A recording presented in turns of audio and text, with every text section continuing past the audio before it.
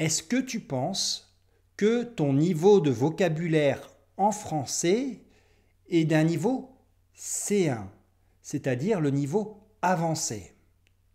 Ouais Mhm. Je te propose de faire le test.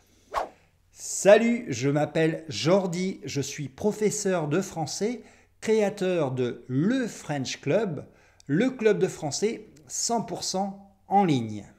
Aujourd'hui, nous allons voir si tu es capable, oui ou non, de comprendre des mots d'un niveau C1 en français.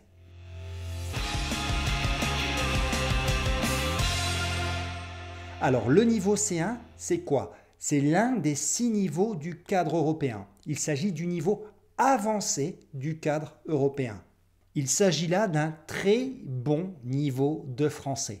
En réalité, très peu d'élèves arriveront jusqu'à ce niveau. Bon, si tu veux savoir plus en détail à quoi correspond ce niveau, sache que j'ai fait une vidéo il y a quelques mois maintenant où je t'explique ce cadre européen niveau par niveau. Donc comment allons-nous procéder? D'abord, je vais te donner une liste de 14 mots que j'ai trouvés dans des documents qui correspondent au niveau C1, au niveau avancé. Dans cette liste, il y a des noms, des adjectifs, des verbes, des adverbes. Et donc pour chacun de ces mots, tu vas me dire si oui ou non tu le connais. Tu es prêt? Allez, c'est parti. Le premier mot, c'est un adjectif, c'est l'adjectif prépondérant. Le deuxième mot est un verbe, c'est le verbe subjuguer. Et le troisième mot, c'est encore un adjectif, c'est l'adjectif éphémère. Mot numéro 4, une pléthore. Qu'est-ce que c'est qu'une pléthore? 5, c'est un adverbe. C'est l'adverbe réciproquement. Est-ce que tu as déjà entendu ce mot réciproquement? 6, c'est véhément. Véhément. Mhm. tu connais? Le 7, c'est un verbe, c'est le verbe apaiser.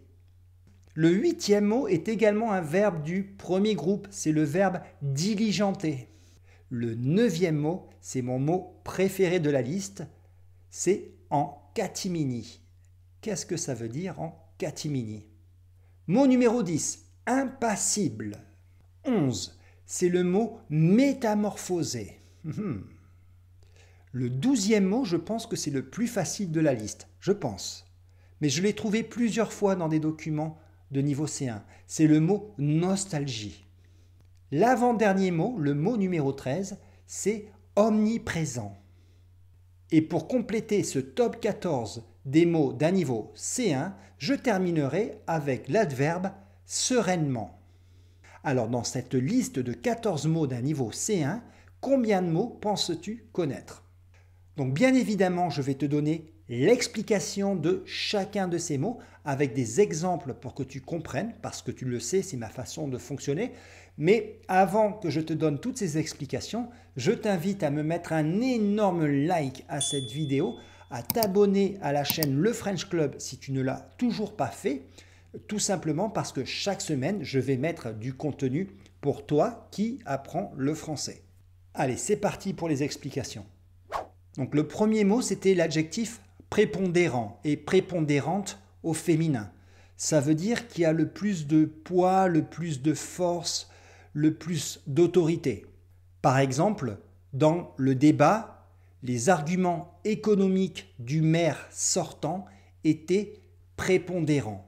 Le maire, c'est celui qui administre un village ou une ville en France. Si je dis que ces arguments économiques étaient les plus prépondérants lors du débat, c'est-à-dire que c'était les arguments qui avaient le plus de poids, le plus de force. Alors le nom qui est lié à l'adjectif prépondérant, c'est le nom la prépondérance.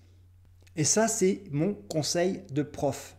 Lorsque tu apprends un nouveau mot, surtout si tu as un niveau B2, C1, il est très important que tu t'intéresses également aux mots qui sont de la même famille. Par exemple, si tu apprends un nom, eh bien cherche à savoir s'il n'y a pas un adjectif, un verbe, voire un adverbe qui utilisent la même base, qui sont de la même famille. Ainsi, au lieu d'apprendre un mot, tu vas apprendre deux, trois, voire quatre mots nouveaux. Et tu seras beaucoup plus efficace au moment de parler parce que ton bagage de vocabulaire sera beaucoup plus conséquent. Le mot numéro 2, c'était subjuguer. Ça veut dire captiver, fasciner, séduire avec une grande force, apporter de la séduction. Je vais rester avec un exemple un petit peu politique. Le talent d'orateur du candidat a subjugué tout l'auditoire. L'auditoire, ce sont toutes les personnes qui écoutent. Donc toutes les personnes qui écoutaient étaient captivées, étaient fascinées par les talents d'orateur du candidat. Ils étaient subjugués par son talent d'orateur. Le mot numéro 3, c'était éphémère. Donc éphémère, c'est un adjectif qui veut dire qui dure peu de temps. Je dirais même plus qui dure très peu de temps. Par exemple, la beauté des fleurs de cerisier est éphémère. C'est ce qui la rend captivante. Parce qu'en effet, les cerisiers sont très jolis à regarder lorsqu'ils sont fleuris, mais cela dure très peu de temps. Mot numéro 4, une pléthore. Une pléthore, c'est un nom pour parler d'une grande quantité, d'une grande abondance. Je pense qu'on peut dire aussi d'une grande variété. Par exemple, ce géant américain de la tech, donc la tech, tu le sais, hein, c'est l'industrie euh, des nouvelles technologies, ce géant américain de la tech propose une pléthore de services.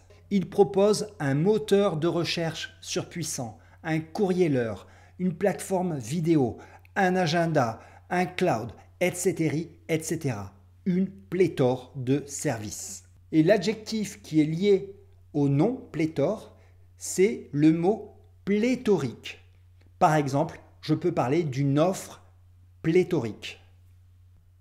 Le mot numéro 5, c'était l'adverbe réciproquement, qui veut dire d'une manière mutuelle, qui fonctionne l'un avec l'autre, hein, lorsque ça fonctionne dans les deux sens. Par exemple, si je parle de l'alliance entre les Français et les Américains, eh bien je peux dire que les deux pays alliés se sont réciproquement apportés de l'aide. C'est-à-dire que lors de la guerre d'indépendance, les Français sont venus aider les Américains et les Américains sont venus aider les Français lors des deux guerres mondiales. Donc ils se sont réciproquement apportés de l'aide. Donc l'adjectif qui est lié à réciproquement, c'est réciproque, et le nom, c'est la réciprocité.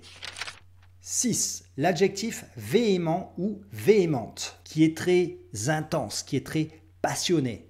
Par exemple, la réaction véhémente de Paul a surpris tout le monde, parce que nous pensions que Paul était un garçon calme, gentil. Le mot qui est lié à véhément, c'est le nom, la véhémence. Par exemple, sa véhémence lors des débats a tendance à intimider ses adversaires politiques. Notre septième mot, c'était le verbe apaiser. Donc quand tu as un mot comme ça, hein, tu penses à supprimer le suffixe et le préfixe, d'accord? Et tu retrouves la base du mot, la paix, ok? Et effectivement, apaiser veut dire ramener à la paix, calmer. Euh, par exemple, l'Organisation des Nations Unies, l'ONU, a nommé un médiateur qui a pour mission d'apaiser les tensions entre ces deux pays. Le nom qui est lié au verbe apaiser, c'est l'apaisement. Le médiateur aura pour mission d'apporter l'apaisement entre les deux pays. Et le huitième mot était également un verbe du premier groupe, c'était le verbe diligenter, qui veut dire réaliser rapidement une tâche. C'est un mot qu'on utilise plutôt dans le vocabulaire du droit, de la justice. Par exemple, je peux dire que le Sénat a diligenté une enquête auprès de la Cour des comptes sur l'usage de crédits exceptionnels accordés au ministère des Sports avant les Jeux olympiques de Paris 2024. Je crois que ceci était l'exemple le plus long de toutes les vidéos du French Club. Bon, j'espère néanmoins que tu as compris. Hein. donc, diligenter, ça veut dire exécuter avec rapidité une mission. Je te l'ai dit, ce neuvième mot, c'était mon préféré de toute la liste. Il s'agissait de la locution adverbiale, l'adverbe, en catimini, qui nous vient du latin. Mais je pense que à partir du niveau C1, il faut connaître certaines locutions latines, les plus courantes, celles qu'on utilise le plus en français. En catimini, ça veut dire de façon secrète, en cachette, à l'insu de tous.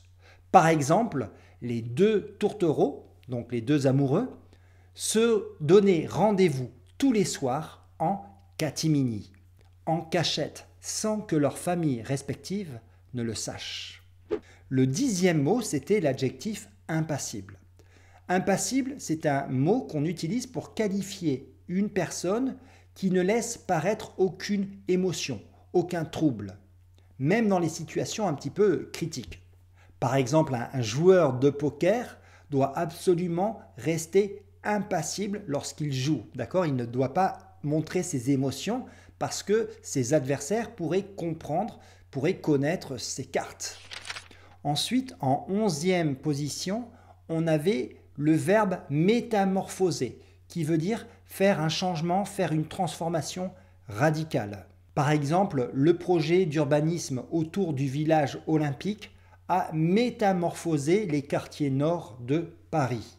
Et le nom que l'on peut lier euh, au verbe métamorphoser, c'est naturellement la métamorphose, qu'on peut également utiliser pour euh, parler d'une personne. Par exemple, la métamorphose de Céline est impressionnante depuis qu'elle sort avec William. Avant, Céline était une femme discrète, presque effacée, et aujourd'hui c'est une femme euh, souriante, communicative, avec le sens de l'humour. Je ne sais pas si tu es d'accord avec moi, mais ce douzième mot, c'était, je pense, le plus facile. La nostalgie. Donc la nostalgie, c'est ce regret, ce sentiment de regret euh, lié aux choses du passé, aux choses qui ont existé mais qui n'existent plus aujourd'hui. Par exemple, Alex a été submergé par la nostalgie en regardant de vieilles photos de son enfance. Parce que sur ces vieilles photos se trouvaient son père, sa mère, qui ne sont plus là aujourd'hui. Alors je sais, mes exemples sont un petit peu tristes aujourd'hui, mais euh, la nostalgie, c'est ça, c'est un sentiment de tristesse. Et l'adjectif qui est lié, qui est de la même famille que euh, la nostalgie, c'est bien sûr l'adjectif nostalgique. Le treizième mot, c'était le mot omniprésent, d'accord Ou omniprésente au féminin. Il est composé de sa base, présent, et du préfixe omni qui veut dire tout. Omniprésent, ça veut dire qu'il se trouve partout en même temps. Par exemple, je peux dire qu'en France, la figure du président de la République est omniprésente dans les médias. On en parle partout, euh, à la télévision, sur toutes les chaînes, euh, à la radio, sur Internet. On parle beaucoup de la personne qui incarne cette fonction. Donc l'adjectif c'est omniprésent et le nom c'est l'omniprésence, qui est un nom féminin.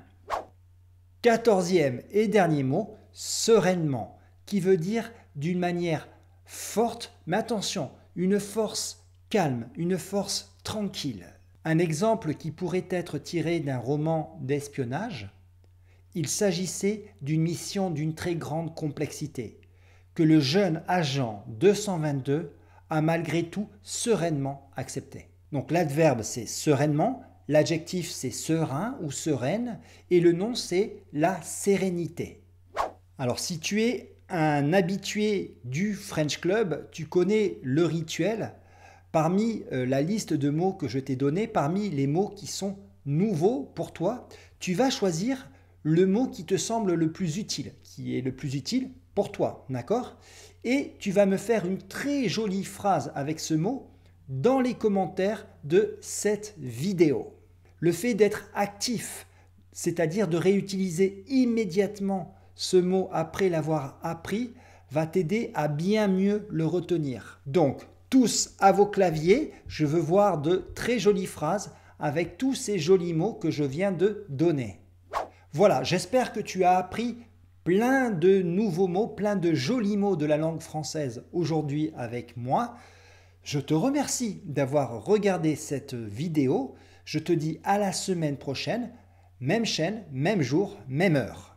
Et, et, et, et toi, oui, toi, toi qui fais partie de ces rares élèves qui veulent progresser, qui regardent les vidéos jusqu'à la fin, qui en veulent toujours plus, eh bien, je t'invite à devenir membre du club de français 100% en ligne. Tu y trouveras des cours, des cours exclusifs que je ne mets pas sur YouTube, mais tu trouveras également des PDF, des activités interactives amusantes, des podcasts pour progresser en français.